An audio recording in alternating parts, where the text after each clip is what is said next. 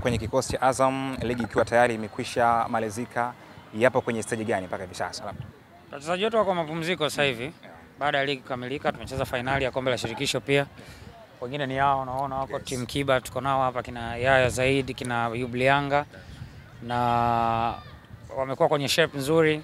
Unfortunately, tunamshukuru Mungu pia tulimaliza uh, ligi tukamaliza ESFC bila mtu yoyote kuumia, hakukuwa na tatizo lolote. Kwa hiyo uh, kwanza ni jambo la kumshukuru Mungu na we hope kwamba mpaka tutakapoingia kambini kwa ajili ya msimu ujao mapema mwezi ujao uh, kuanzia tarehe tatu huko tutakuwa kwenye, kwenye wakati mzuri zaidi, lakini kwa sasa wachezaji wetu watoka mapumzikoni, wa nje wameenda nyumbani kwao kusalimia. Baada ya hapo watarejea, tutaendelea na ratiba zetu za kawaida. Okay. thank you zimekuwa nyingi sana kwa wiki hii, pengine inaonyesha dalili gani kuelekea mwanzo wa msimu ambao pengine eh, mnaonekana kuwa na target kubwa zaidi kama timu? Wakati mwingine inabidi ufanye maamuzi magumu ili uh, upate ahueni. Wanasema dawa haijawahi kuwa pipi, dawa ni chungu always, na dawa chungu ndio ambayo iko effective zaidi. Kwa hiyo kwetu sisi ni tunajisikia vibaya kuachana na wachezaji ambao tumekaa nao kwa muda mrefu na staff wengine, lakini pia inatupa relief kwamba huenda tukafanya replacement ambazo zitawafurahisha mashabiki wetu na Watanzania kwa ujumla. Kwa hiyo sio wakati mzuri kusema kweli kuagana na wachezaji ambao mnawapenda, lakini wakati mwingine inabidi mm. yeah. Inawezekana kuna njia ambayo mmechagua kupita kwenye msimu unaokuja baada ya huu msimu pengine kutokuwa mzuri sana kwa upande wenu. Tuna, tuna, tuna imani kwamba tutafanya vizuri kwenye ligi kuu ikibidi ubingwa msimu ujao. Uh, tuna imani kwamba tutacheza tena fainali ya kombe la shirikisho la Azam Sports next season, na kama haitoshi focus yetu kwenye international, tuna imani kwamba kuna namna tunaweza kupambana uh, tukafika sehemu nzuri zaidi. Uh, kwa mfano tumejiwekea standard zetu kwamba tutapambana tuta, tuta, tuta ili tuhakikishe kwamba tunacheza angalau 16 bora ya CAF Confederation Cup msimu ujao. Kwa nini? Kwa determination tuliokuwa nayo na aina wachezaji ambao tayari tunao kwenye kikosi chetu.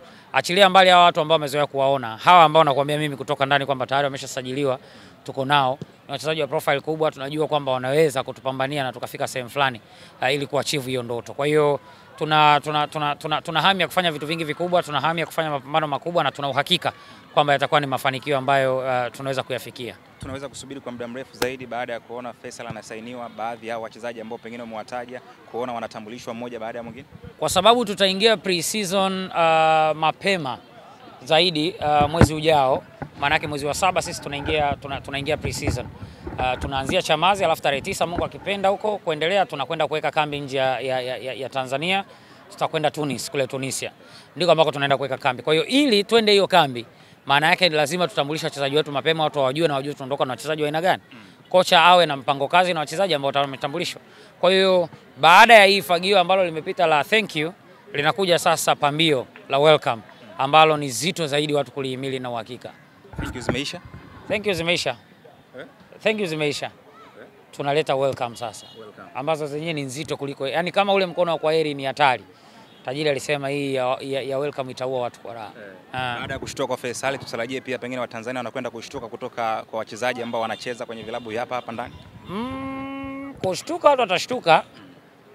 Mzani wa kwamba watashtuka kwa kipimo gani, nafikiri tusubiri tuone wachezaji wakiwa wanatambulishwa, kwa sababu uh, ilifika hatua tukazungumza kwamba kama inabidi uh, kuingia kwenye klabu yoyote tena Tanzania kumpata mchezaji ambaye tunamtaka kwa ajili ya kutengeneza timu yetu, hatutasita kuingia na tutaingia kwa miguu yote miwili. Kwa hiyo whether ni mchezaji wa kigeni au ni mchezaji mzawa ambaye tunahisi ana quality ya kucheza timu yetu kutoka hapa nyumbani, atacheza.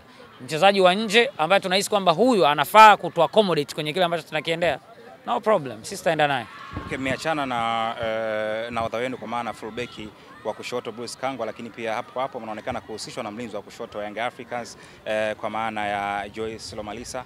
Kipi kinakujia kichwani kuona timu kama Azam inahusishwa eh, na mlinzi maridadi kama huyu pia baada ya kuachana na mlinzi wenu wa kushoto kwa muda mrefu kabisa? Mimi natembea na misemo ile ya Waswahili, analoliwaza mjinga mara nyingi ndo linamtokea, na maneno huumba. Sisi tunapenda kuhusishwa kwenye vitu kama hivyo, yaani sisi ni miongoni mwa timu ambazo zinajivunia ukubwa wake kwa staili kama hiyo, kwa sababu huwezi kuwa timu ya kawaida kawaida tu alafu usiitwe kwenye nyakati kama hizo. Kwa hiyo uh, kama wanatuhusisha naye sisi tunafurahi, lakini usajili wetu wa wa hilo eneo nafikiri mastrika watamani kukutana naye Okay. yeah. Tumalize la mwisho kabisa, unapoona uh, wachezaji wa timu yako kama Sospita Bajana lakini pia James Akamiko wanahusishwa na hivi vilabu viwili kwa maana vya Simba na Yanga, kuna hofu yoyote ambayo unaipata? Sipati hofu, sijawahi kuwaza na kwa sababu management ambayo tuko nayo kwenye timu yetu ilishafungua milango wazi kwa mtu yoyote ambaye anamtaka James Akaminko, mtu anayemtaka Kipre Junior, mtu anayemtaka sijui, yani mchezaji yoyote wa Azam FC ukiwa unamtaka karibu on board, tuzungumze. Inawezekana hata ukitaka mimi nije kuwa msemaji wa timu yako, sio anaruhusu, njoo tuzungumze, ni jambo ambalo linawezekana. Kwa hiyo sisi kwetu milango iko wazi, hatuhofii kwa sababu kabla ya wao walikuwepo wengine na waliwahi kuondoka kaenda hizo timu nyingine, still Azam FC bado iko pale.